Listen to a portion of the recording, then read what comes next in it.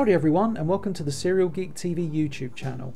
My name is James Eatock and today we're going to take a look at an episode of the Transformers that much of the fan base celebrates. Not because it tells a fascinating story full of drama and wonderment, but because the visuals are, well, rather phenomenal. When Call of the Primitives originally aired, it was a very welcome change. Much of season 3 of the Transformers had been farmed out to AKOM, a Korean animation studio not known for their quality across the second season.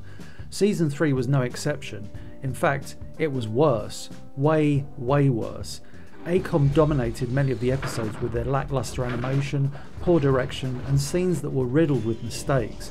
Personally, I find it hard to watch season 3 of the Transformers because the visuals are often so unbelievably jarring.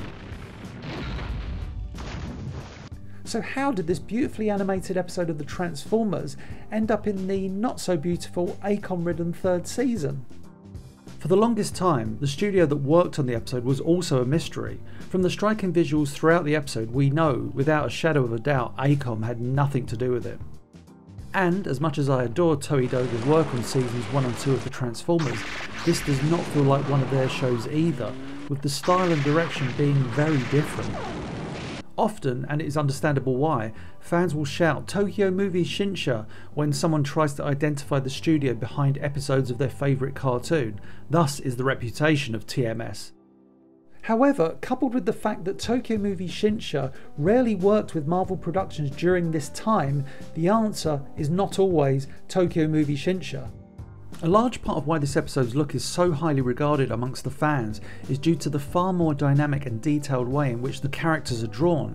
Many, including myself for a time, believed that the look of the Transformers in this particular episode were inspired by Studio Ox's exceptional work on numerous Japanese Transformers publications and promotional material. Call of the Primitives, much like Studio Ox's work, has the robots in disguise looking a lot less box like. The characters themselves are illustrated in a far more dynamic way than their model sheets. The oversized, gigantic characters that appear in this episode are not only animated, but illustrated with a ridiculous attention to detail. I mean, just look at this comparison. Finally, in 2020, after decades of speculation, Eiji Suganuma conversed with Transformers Wiki on Twitter, revealing that he had served as the animation director for Call of the Primitives. Not only that, but he also revealed that Marvel Productions had assigned the episode to Toei Doga, who then subcontracted the work to Studio Look. Studio Look then employed students from the International Animation Institute, and although Studio Ox were not involved, Shin Matsuo, a member of Studio Ox, animated certain shots and thus brought his stylistic choices to the episode. Call of the Primitives ultimately stands as a tantalising hint of what the series may have looked like with a large enough budget and even more detailed character designs. And in a way, this is the only real downside of the episode. I now present to you a look at some of the most striking visuals and animated sequences from this episode. The episode starts off like any other, but within seconds of seeing this close up of Springer, flanked by Rodimus Prime, we notice that something is very different with the visuals. Aside from the obvious abundance of detail on the characters, the way in which the Transformers themselves are illustrated is a lot less box like than what AKOM had been producing throughout the third season. In fairness, Toei Doga's work on the Transformers also had the characters box like, but in a style that was a great deal more aesthetically pleasing than AKOM's work. Incidentally, Toei's work on Transformers the movie featured character models that were far less box like than what we had seen in the series up until that point. These designs would not translate well in the hands of AKOM, especially as they'd end up interchangeably using Marvel Productions movie models. Another notable stylistic choice that the episode brings to the world of the Transformers is the heavy, yet appropriate, use of black shadows, as can be seen in this image of Rodimus Prime. This technique was rarely ever employed in the Transformers, or any cartoon of the 80s for that matter, with two tone shading often used to create depth or imply a strong off screen light source. The black shadows in this episode are somewhat unnecessary but add to the beauty and style that make Call of the Primitives so highly regarded. One of the things this episode excels at is the use of unique camera angles to make the Transformers look imposing. The low angle of this illustration, the use of blacks to create depth, and the character's pose, with his head cocked to one side, is unlike anything AKOM would have attempted. Ultra Magnus has never looked more dynamic. Believe it or not, this image showcases Japanese character design at its finest. Ultra Magnus's antennae were traditionally rendered as two simple vertical poles. However, in this episode, the animators choose to make the antennae very thin and have them point outwards, an energetic style which adheres to numerous classic Japanese robot designs. This image of Galvatron shows just how striking the illustrations of the characters are in this episode. Instead of merely standing there looking like a robot, Galvatron is illustrated in a more natural pose with human like proportions. Most notably, this can be seen in the way in which his thighs are drawn and the fact that his upper body is bigger than his waist. This group image of Decepticon characters shows the more majestic way in which the heroes and villains are illustrated, specifically with regards to Galvatron and Cyclonus. You can see that their chests are more pronounced, with their heads slightly back, making the characters themselves look a great deal more imposing than they normally would. In this scene in which Ultra Magnus fights Cyclonus, we see a unique take and yet another example of how this episode's action differs from every other episode. Ultra Magnus readies himself for battle as Cyclonus swoops into shot by adopting a much lower stance. As Ultra Magnus swats Cyclonus, we see specific movement lines coloured to match Ultra Magnus's blue forearms that negate the use of frames illustrating the blow being struck. The yellow flash indicating the strike is something that appears in this episode on numerous occasions, showing action based impact. Ultra Magnus's pose shows that his proportions are a lot more human like than robot. By far, one of my most favourite shots in the entire episode is probably one of the shots featuring the least animation. When the Terrorcons begin to form the giant Abominus, we see the chest of the giant awaiting the completion of the merge. We then see the lines of movement illustrated on Rippersnapper as he attaches himself to Abominus, becoming the giant's arm. The lines of movement are only there for one frame but add to the dynamism of the sequence. Now normally when Abominus's head would appear, it would simply just rise up like every other gestalt Transformer. However, in this instance we are treated to a spectacular attention to detail, and this is largely in part due to the beautiful character design unique to this episode. Abominus's head pops up and we immediately notice that his antennae are far more pronounced than any other episode, but in one of the most fantastic attentions to detail, we see the antennae flick out to their preferred position, indicated wonderfully with white movement lines, as if the antennae have caught the light somehow. As I mentioned before with regards to Ultra Magnus, the antennae on certain Transformers are illustrated in a much more striking way in this episode than in the entirety of the series. This enables the animators in this particular scene with Abominus to make this small character design trait literally shine in a small but incredibly dynamic touch. Sadly, if you look at any other appearance made by Abominus in the series, he just looks somewhat bland when compared to the pronounced, detailed, and depth ridden design of the character here. Another unique touch throughout the episode is the way in which the characters fire their weapons. Instead of merely holding the gun up with laser fire spewing forth from it, the animators have the character's arm, in this case Rodimus Prime, recoil from the force of the blast, of course, this enables more stylistic choices, and we see an arcing motion of leftover laser fire, which not only creates a sense of movement but just looks visually impressive. Once again, the angle of the sequence in which the gun is favoured is an example of just how much care was clearly put into this particular episode in each and every shot. One of the biggest cast members of the Transformers was Trypticon. He was an oversized gigantic robot that transformed from a giant base of operations for the Decepticons into a menacing dinosaur like robot. His appearances in the series up until this point have been less than satisfactory, and due to AKOM's style of animation, he was often drawn very simple, with the exception of the season 3 episode The Ultimate Weapon, another Toei Doga animated show. The one problem AKOM seemed to have with the character was that his movements often belay a robot of his massive height and weight, at times appearing ridiculously light on his feet. Not only does Call of the Primitives give Trypticon a ridiculous amount of detail, but he is also animated in a way befitting of his great height and weight.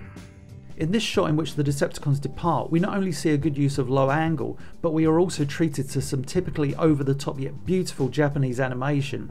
In order to take to the skies, most of the Transformers would simply rise into the air with little fanfare.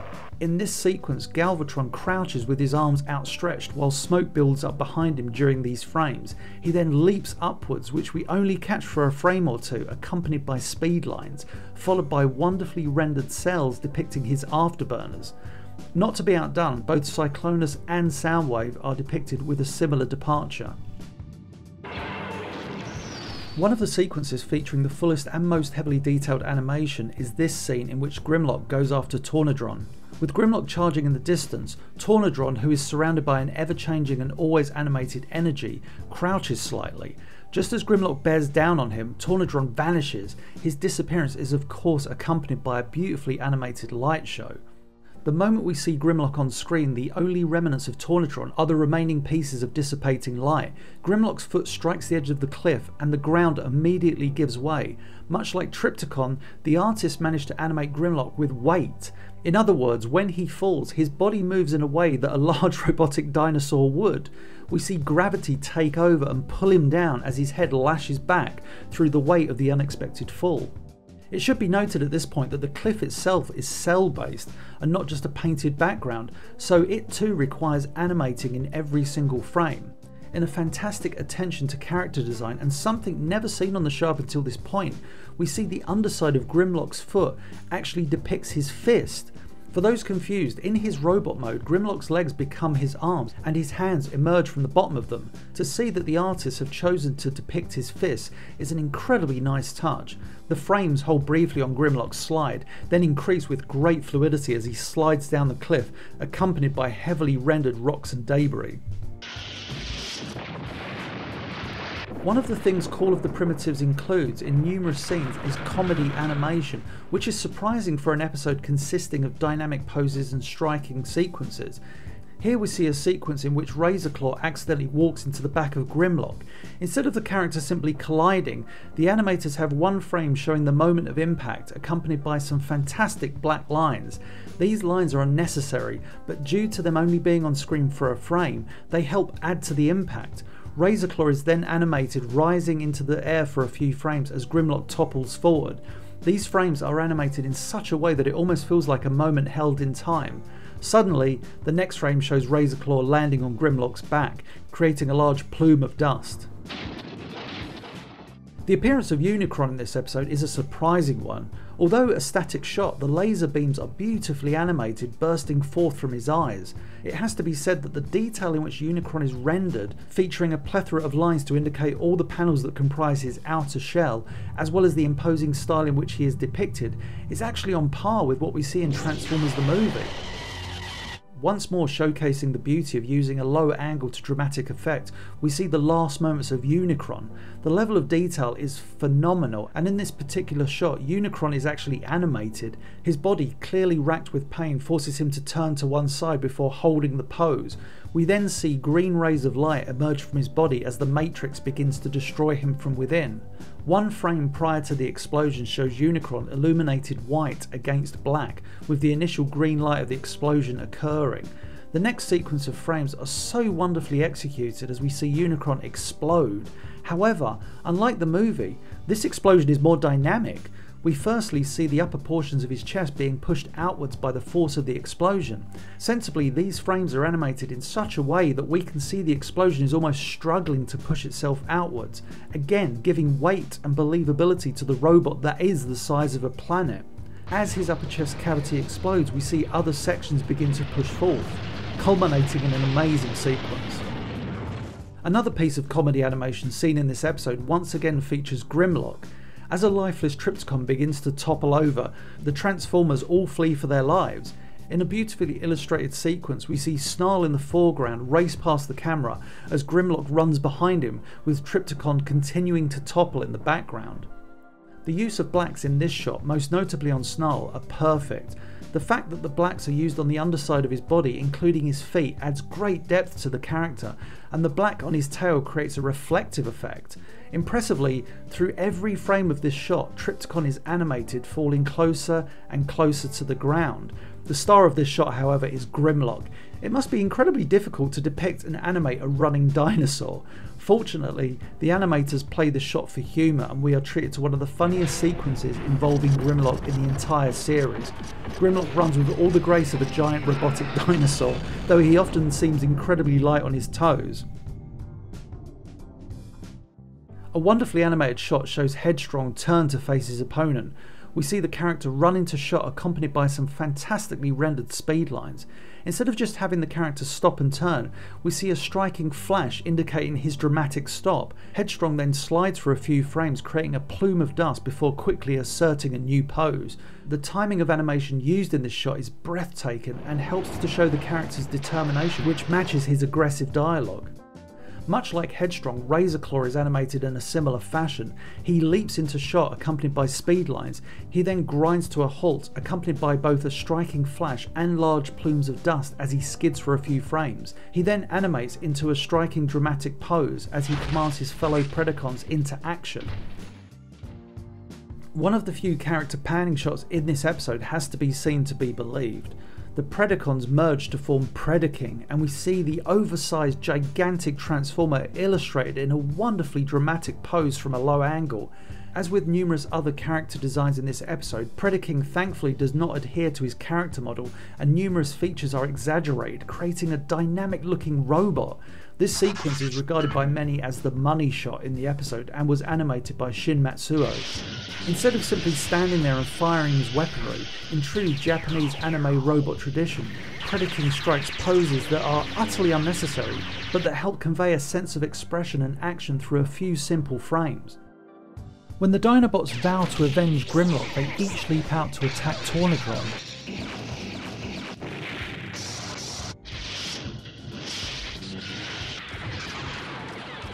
Slag's attack is striking in that the large rock pile he stands behind explodes with great fury and in great detail too.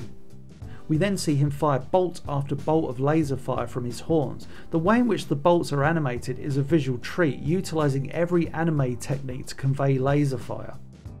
There are numerous other moments throughout Call of the Primitives that showcase wonderful moments of animation. The aforementioned scenes that I have featured are the ones that I believe stand out more than most. It's a shame that we never saw this level of detail more frequently in season 3 of the Transformers. When you see a series like Machine Robo, on which Eiji Suganuma was the animation director, you see that it is possible to make a series with consistently high quality and dynamic animation.